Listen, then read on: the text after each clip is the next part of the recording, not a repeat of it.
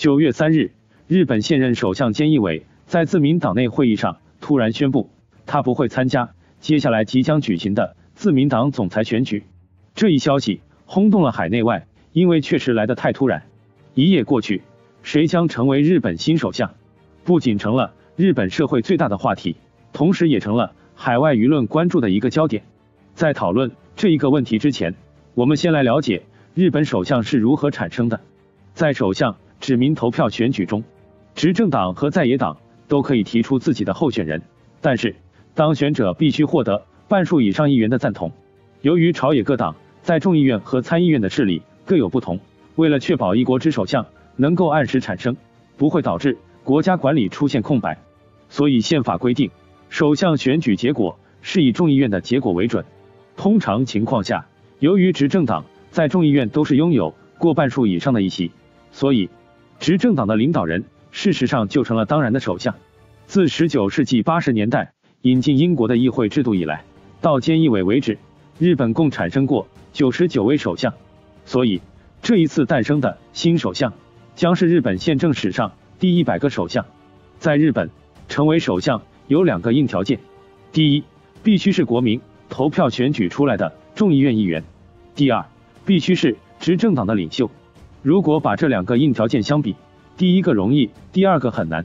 因为要成为执政党的领袖，一般情况下还需要有这么几个软条件：第一，必须参加过八次以上的众议院大选，而且每次都能获胜连任；第二，至少当了二十年以上国会议员；第三，在政府内多次担任过大臣，在党内也担任过类似于常委级的高级干部；第四。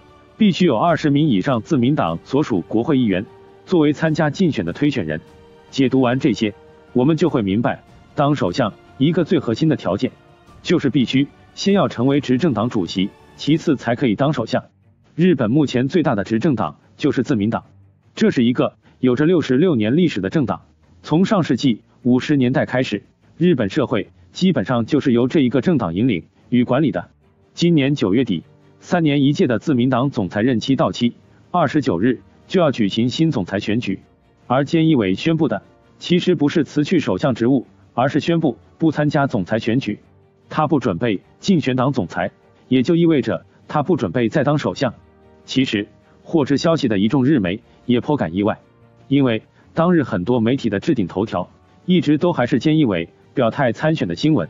报道说，菅义伟会晤了。日本自民党大佬二阶俊博向其表明将参选下届自民党总裁，并将调整包括干事长二阶俊博在内的自民党高层人士。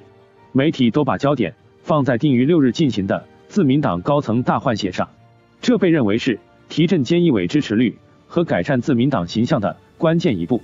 然而，仅仅十七个小时后，菅义伟就宣布不参选自民党总裁。这十七个小时的时间里。究竟发生了什么？按菅义伟自己解释，是要集中精力应对新冠疫情，但实际原因显然不是这般体面或简单。菅义伟突然变卦，多半是因党内高层改组遇到了麻烦。目前，大部分的分析认为，菅义伟想改组和更换的人，党内大佬或政治明星不支持不配合。菅义伟原指望借此改头换面，拉一个新班子出来选举，结果遭遇碰壁。而他本来就没有自己的派系做后盾，执政基础不牢，这时候四处碰壁，就只能屈从压力，放弃参选了。政权运行遇到很大困难，这在日本历史上并不鲜见。安倍晋三、麻生太郎之前都有突然不干的先例，这也是日本一种独特的政治文化或体制特性。日本共同社的报道也印证了这种分析。报道援引日本首相官邸消息人士的话说，菅义伟弃选的原因。在于原定六日进行的自民党高层人事变动无法实现，除了党内大佬和派阀压力，这一年来的政绩也无法支撑菅义伟继续走下去。菅义伟上台以来最大的任务就是抗议举办东京奥运会、振兴经济等，但现在抗议可谓一塌糊涂，因为盲目乐观和措施不利，日本正遭受第五波疫情冲击，顶着逆风举办东京奥运，但并未如他预期的那样。带来个人加分，在东京奥运禁赔以及新一波疫情冲击下，重振经济的计划也眼见搁浅。八月底的民调显示，菅内阁支持率已经跌至百分之二十五点八，再次刷新他任首相以来的历史最低点。去年九月上任时，菅义伟政府的支持率曾高达百分之七十左右。与此同时，自民党在他领导下的几场地方选举又接连失败，也给菅义伟带来重创。最近一场失败的地方选举，就是八月二十二日的横滨市长换届选举，那里被认为是菅义伟的政治地盘。这场失败也让自民党内的派阀们认清了菅义伟的处境和当下的国内政治局面。以上种种因素之下，菅义伟选择退出，其实是找个台阶下的维持颜面之举。而接下来的问题，自然就是谁将成为自民党新总裁以及下任首相。目前已经明确表态参加自民党总裁选举的候选人有：现任行政改革大臣河野太郎，前自民党政调会长岸田文雄，现任自民党政调会长下村博文，前总务大臣高市早苗。另外，总裁选举的最后报名时间为九月十七号，在此之前还有可能参选的潜在人选分别是。自民党原干事长石破茂，现任环境大臣小泉进次郎，以及自民党干事长代行野田圣子等。接下来我们来分析一下这些候选人的可能性。首先，日本历史上从来就没有女性担任过自民党的总裁，以前没有发生的事，在现在日渐保守的日本政治氛围下，就更不可能发生了。所以，我们先把两位女候选人当选自民党总裁的可能性排除掉。接着是。一直想当日本首相的原干事长石破茂，石破茂由于一直和党内的实力派安倍晋三、麻生太郎等关系不和，他和他的派系也一直处于自民党的边缘位置。目前石破茂唯一的希望是获得二阶派的支持，不过现在看来，即使获得二阶派的全力支持，他最后当选自民党总裁的可能性也几乎为零。而在日本妇女和年轻人群中，有着很高人气的小泉进次郎，由于还很年轻，按照日本政坛论资排辈的传统来说，目前还没有到他担任自民党总裁的时候。这次也大概率不会参加最后的选举。如果不出意外，新一届日本自民党的总裁最有可能从河野太郎、岸田文雄两人中选出。那么两人中谁的可能性更高一些？首先是岸田文雄。一九九三年，岸田参加众议院议员竞选。一举当选。二零零七年首次入阁。二零一二年安倍第二次当首相时，岸田先后担任外务大臣和防卫大臣。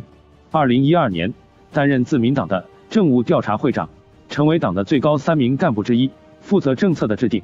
岸田文雄和麻生太郎等自民党大佬一直保持着良好的关系，也是去年日本首相的热门人选。最后因为自民党内部的平衡需要，才输给了菅义伟。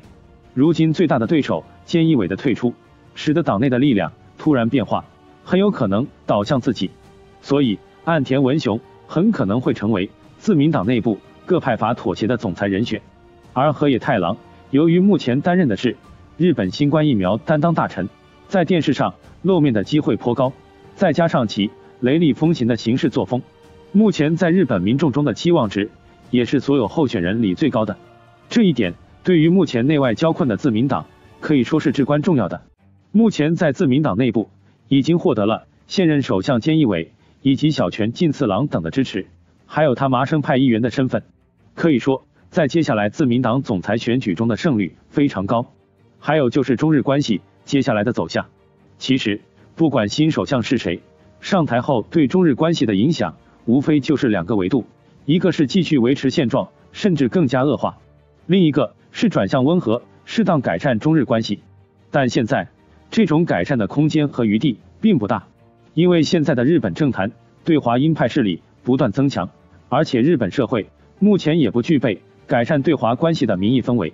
对华强硬，某种程度上说已经是日本国内的政治正确。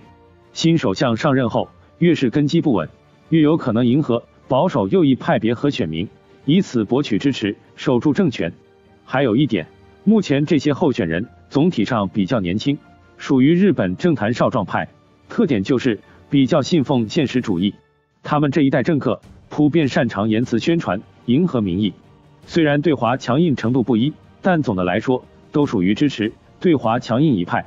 河野太郎是麻生派推出来的人选，是一个十足的鹰派，对华强硬。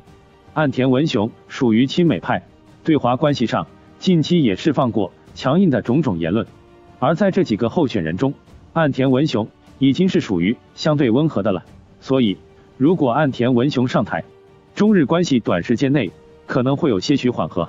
但他又不是什么革新派，几乎不可能去主动改善中日关系，因此大概率也只是延续菅义伟时期的政策。而如果河野太郎当选，那会比岸田更糟糕，中日关系势必会更加恶化。